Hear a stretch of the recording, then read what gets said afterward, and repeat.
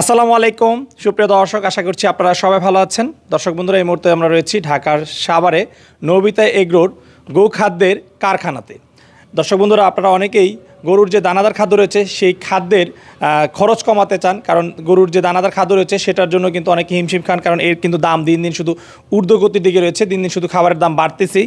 তো মুমিন ভাই একজন খামারি, ওনার জানেন আপনারা খামার রয়েছে এবং সেখানে উনি গরু মোটাতাজাকরণ করে থাকেন। তো উনি কিন্তু ওনার খামারের যে গরুগুলো রয়েছে, সেগুলোর জন্য উনি প্রথমে নিজেই খাবার তৈরি করে খাওয়াতেন। পরবর্তীতে উনি এখন নিজেই সেই খাবারগুলো বাজারজাতকরণ করতেছেন।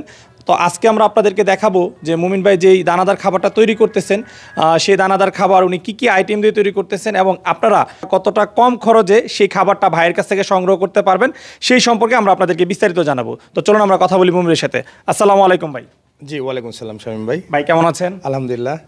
আচ্ছা আপনি তো গরু দেখিয়েছেন আমাদের আসলে একটা মিল আছে যে মিলটাই আসলে আমরা আমাদের প্রোডাক্টগুলো বারবার বলি যে আমরা নিজেই সলিড ফর্মে নিয়ে ক্র্যাশিং করে নিজেদের মিলে আমরা এটা নিজেদের জন্য তৈরি করি। কিছু খামারের সাপোর্টও নেয় আমাদের কাছ থেকে।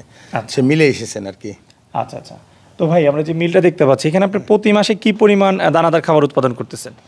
আমাদের নিজেরই লাগে দুটা খামারে পঁচিশ থেকে তিরিশ টনের মতো। একশো টনের মতো বা সত্তর আশি টনের মতো প্রোডাক্ট আমাদের সবসময় প্রতি মাসে আসে এখান থেকে। প্রতি মাসে? হ্যাঁ কিছু আমাদের অন্য অন্য খামারি যারা আছে আমাদের মতোই যারা বিশ্বাস করে তারা প্রোডাক্ট নেয় কিছু। তিরিশ চল্লিশ পঞ্চাশ টনের মতো ওনারা নেয়। আর বাদ বাকি আমাদের পঁচিশ তিরিশ টন আমরা নিজে ইউজ করি। আচ্ছা। তো ভাই আপনারা যে দানাদার খাবারটা বিক্রি করতেছেন সেখানে কি কি আইটেম দিয়ে আপনারা খাবারটা তৈরি করতেছেন? অনেকগুলো আইটেম আছে। মিনিমাম ষোলো থেকে বিশটা আইটেমে ওঠানামা করে। ষোলো থেকে বিশটা? এই যে অলরেডি আমাদের এটা দানাদার প্রসেস চলতেছে হ্যাঁ মিক্সার করছে এটা। এটা মিক্সার পদ্ধতি চলতেছে। যে ভিতরে বিভিন্ন প্রোডাক্ট দিয়ে এটা করা হচ্ছে। তা আচ্ছা। আমি আমি বেটার হয় কি আমি মনে হয় একটু ইনগ্রেডিয়েন্টগুলো আলাদা আলাদা দেখিয়ে দিই হ্যাঁ। আচ্ছা, আচ্ছা, ইনগ্রেডিয়েন্ট এখানে কি কি আইটেম রয়েছে? আছে। সেটা দেখালে বেটার হয়। আচ্ছা আচ্ছা। এদিকে তো মনে হয় হ্যাঁ, আইটেম আমরা এই এই জায়গায় আমরা একটু ডিসপ্লে করেছি। আমাদের যে আইটেমগুলো থাকে তার মধ্যে অন্যতম একটা আছে ভুট্টার গুঁড়া। আচ্ছা। ভুট্টাকে পাউডার ফর্মে নিয়ে এই এই এই ফর্মে নিয়ে আসা হয়। আচ্ছা। হ্যাঁ সাথে আছে গমের ভুসি। গমের ভুসি। হ্যাঁ সাথে সয়াবিন ভুসি। আচ্ছা। সরিষার খোল। এই যেটা হচ্ছে সরিষার খোল। সরিষার খোল। সাথে থাকে অ্যাঙ্কর ডাউল। অ্যাঙ্কর ডাউলকে আমরা পিষিয়ে নিয়ে নিয়ে এই ফর্মে থাকে অ্যাঙ্কর ডাউল। আচ্ছা। হ্যাঁ সোলার গুঁড়া। সোলাকে আমরা পিষিয়ে নিয়ে সোলাকে আমরা শুধু আইটেমগুলো দেখাচ্ছি। আইটেমগুলো এটা হচ্ছে ছয় নাম্বার আইটেম হ্যাঁ এরপরে চাউলের চাউলের গুঁড়া। চাউল মানে ধানকে আমরা পিষে নিই। হ্যাঁ, আচ্ছা পিষে সাতটা আইটেম গমের একটা খুদ ইউজ করি আমরা। ওয়েস্টেজ গমের ওয়েস্টেজ যে খুদ বের হয় সেটা ইউজ করি। আট নাম্বার। হ্যাঁ সোলার ভুসি। হ্যাঁ এটা সোলার ভুসি। আচ্ছা, বাইরের অংশ হচ্ছে এটা। এটা ডাবলের ভুসি বা অ্যাঙ্করের ভুসি যেটা বলে হ্যাঁ আচ্ছা। এটা ইউজ করা হয়। এখানটায় মুসুরি ভুসি ইউজ করা হয়। এই আচ্ছা। যে মুসুরি ভুসি হ্যাঁ? মসুরির ভুসি এগারো নম্বর। আর অন্যতম প্রোডাক্ট হলো আমাদের হলো সেটা আলফা আলফা ফিড আমেরিকান যে ফিড এসিএর থেকে আমরা এটা নিই।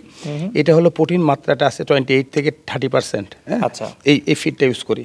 সাথে কাসাবা নামে একটা প্রোডাক্ট আছে যেটা আলুর থেকে আসে কাসাবা আলু। হ্যাঁ এটা হচ্ছে কার্বোহাইড্রেট আছে সিক্সটি প্লাস ষাট পার্সেন্টের বেশি আচ্ছা। এই ফিডটা ইউজ করি। হলো আরেকটা 13 আরেকটা অংশ ইউজ করি আমরা চিপস বলে। হ্যাঁ আলুকে আচ্ছা। এটাকে রোদে শুকা আলু আলুকে শুকিয়ে নিয়ে এটা এই এই প্রোডাক্টটা ইউজ করা অর্থাৎ কার্বোহাইড্রেটকে নিশ্চিত করা হ্যাঁ। আর আলফা আলফা যেটা আছে সেটা প্রোটিনকে নিশ্চিত করা হ্যাঁ। অনেক ব্যালেন্স করে এটা। সোলার ডাউল আমরা পিষিয়ে দিই সরাসরি এই যে সোলার ডাউল আচ্ছা। হুম এটা। বিস্কিট বিস্কিট এক ধরনের বিস্কিট পাউডার আমরা ইউজ করি হ্যাঁ? এটা ওয়েস্টেজ বিস্কিট কিন্তু অনেক সময় বিস্কিট নষ্ট হয় ভেঙে যায় ওইগুলো আমরা ইউজ করি। নটক্সিন পাউডারটা ইউজ করি আমরা হলো টক্সিন বাইন্ডার হিসাবে ভিতরে কোনো টক্সিন যেতে আসে সেটাকে এটা রিমুভ করে। আচ্ছা। এরপরে আসি হলো খাবার সোডা। হুম। সোডিয়াম বাইকার্বনেট খাবার সোডা এটা ইউজ করি। আমরা লবণ ইউজ করি মোটা লবণটা। হুম? আমরা লাইম স্টোন ইউজ করি। এই যে ক্যালসিয়াম ঘাটতি যে না থাকে সে লাইম লাইম স্টোন ইউজ করে। আমরা ধানের কুড়া যেটা আমি খুব মিহি করে হ্যাঁ এটা ধানের কুড়া কিন্তু। দেন কত মিহি? একেবারে জিরো সাইজ করে এটা ধানের কুড়া এটা। এই প্রোডাক্টগুলোকে নিয়ে ব্যালেন্স করে আমরা হলো ন্যাচারাল প্রোডাক্ট সবই ন্যাচারাল প্রোডাক্ট দেখেছি। এখানে আমরা প্রায় বিশটার মতো উপাদান দেখতে পেলাম। হ্যাঁ, আমরা ষোলো থেকে বিশের মধ্যে up and ups and down করে। আচ্ছা, আচ্ছা। এটা নিয়ে আমরা যখন যাই তখন মিক্সার পদ্ধতিতে চলে যাই এটা? এটা। এদিকে কি মিক্স করা হয়েছে হ্যাঁ, এটা mix- হ্যাঁ, এটা mix আচ্ছা দর্শকদেরকে যদি আমরা একটু মিক্স করাটা দেখাই। হ্যাঁ। দর্শক এই যে কাজ চলমান। হ্যাঁ চলমান। আচ্ছা আচ্ছা। হ্যাঁ এটা হলো মিক্সার পদ্ধতিতে আসছে। আচ্ছা আচ্ছা। এই যে চিপসটা হ্যাঁ এর মধ্যে কিছু ফিডও পাবে। এই যে ফিডটা হ্যাঁ। আচ্ছা। এই যে। এটা কি শুধু সার গরুর জন্য? ষাঁড় এবং গাভী দুটাই আছে ভাই সার এবং গাবি গাভী, দুটোই হ্যাঁ। আচ্ছা। এই যে বস্তাজাত হলে এই এই পর্যায়ে আসবে। হ্যাঁ এটা হলো গাভী। গাবি এটা গাভী এই যে গাভীর Okay, খাবারটা দানাদার খাবারটা আমরা দেখিয়ে দিচ্ছি। এটা ফিনিশ প্রোডাক্ট হ্যাঁ? ফিনিশ প্রোডাক্ট এভাবে বস্তাবন্দি। এক বস্তায় কত কেজি থাকে? পঞ্চাশ কেজি বস্তা। পঞ্চাশ কেজি। এটা আমরা চল্লিশ টাকা মার্কেট জাত করি হ্যাঁ? চল্লিশ টাকা চল্লিশ গাড়িটা। টাকা আর এটা হলো আমাদের সারের যে খাবারটা এটা ফিনিশ প্রোডাক্ট এই যে ফিট টেটের মধ্যে আছে যেটা আলফা আলফা বললাম। আচ্ছা। হ্যাঁ? এমন চিপসও আছে কিছু। এগুলো দিয়ে ফিনিশ প্রোডাক্ট এটা হলো আমাদের ছত্রিশ টাকা কেজি দেবো। সাড়েটা ছত্রিশ আর গাভীরটা হচ্ছে চল্লিশ টাকা। চল্লিশ হ্যাঁ? আর যদি আমরা পাশাপাশি বলি যে আমরা সাইলেস আমরা মার্কেটজাত করি হ্যাঁ? এই যে সাইলেস আমাদের। সাইলেস কত করে এখন সাইলেস এগারো টাকা করে ভাই সাইলেজ হচ্ছে এগারো। টাকা। এগারো টাকা হ্যাঁ এই সাইলেস। তাহলে সাইলেস থাকল আমাদের গাভীর খাবার থাকল দানাদার ষাঁড়ের এর মধ্যে আমরা একটা টিএমআর হিসেবে একটা প্রোডাক্ট হ্যাঁ একটা মিক্সার পদ্ধতি যেতে যে টিএমআর করছি আমরা যেটা এই টিএমআর এই টিএমআর আমাদের অ্যাভেলেবল আমরা নিজেরা টিএমআর ইউজ করি এখন। এবং প্রচুর খামার ইউজ করতেছে। এটা হলো আপনার বেসিক্যালি খাওয়ার পদ্ধতি সহজ করে দিয়েছে। ম্যান পাওয়ারের উপরে আমরা ডিপেন্ড করি এই চাপটা কমিয়ে দিয়েছে। টিএমআর মধ্যে আছে হলো গাভীর দানাদারটা। সাইলেস আছে ঘাস আছে খড় আছে মোলাসেস আছে। সাথে আলাদাভাবে সোয়াবিন খোল ইউজ করা গমের ভুসি আলাদাভাবে ইউজ করা। এর মধ্যে এর মধ্যে কাসাবা আলফা আলফা ঘাস কাসাবা শিট এগুলো ইউজ করা। সো কাঁচা এ- এটা হলো সুবিধা হলো কি এই সব প্রোডাক্ট নিয়ে এক জায়গায় করা অর্থ যে গরুকে যখন খাবারটা আমরা ডিস্ট্রিবিউট করি গরু ওয়েস্টেজ করে না খাবার। হান্ড্রেড পার্সেন্ট কনজিউম করে। দানাদার খাওয়ার অনেক সময় পানিতে ভিজিয়ে দিলে কী হয় কিছু অংশ পড়ে থাকে নিচের দিকে লেগে থাকে। গরু খেতে চায় না পরের দিন ইউজ করা যায় না।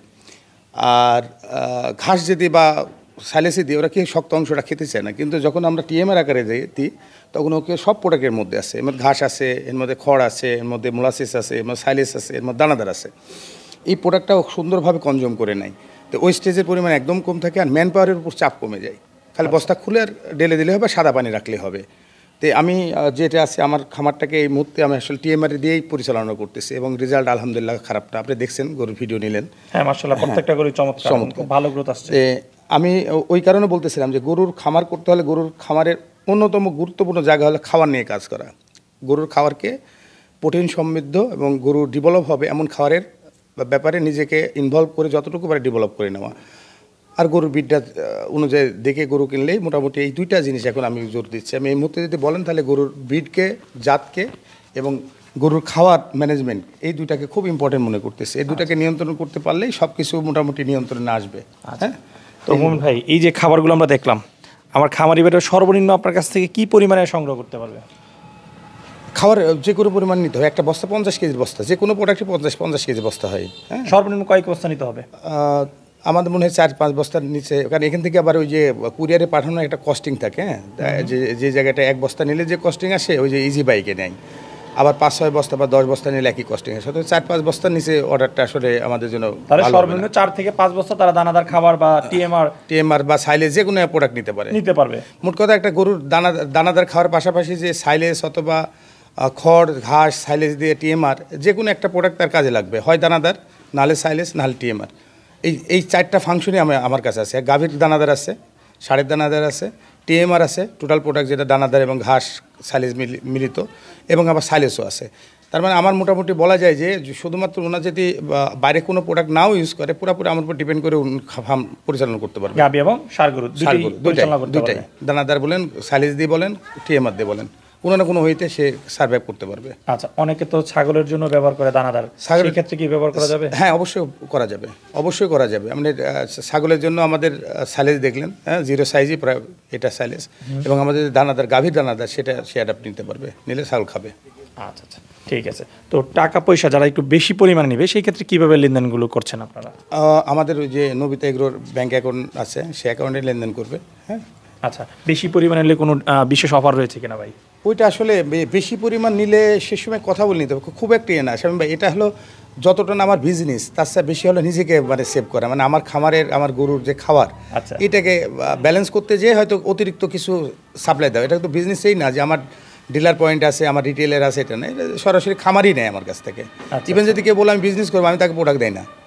ভাই ওই ওই ঝামেলার মধ্যে নাই। ওই প্রোডাক্ট দেবো কবে পাঠাবো টাকা কখন লাগাবে এটা না। আমার খামারি যারা ভাইরা আছে তারা যদি নেয় তারা সাপোর্ট দেয়। এবং তারা কনফিডেন্টলি যারা আছে তার দীর্ঘদিন ধরে আমার সাথে আছে। এই চল্লিশ পঞ্চাশ টন মাল যে ওনারা নেয় প্রতি মাসেই নেয়।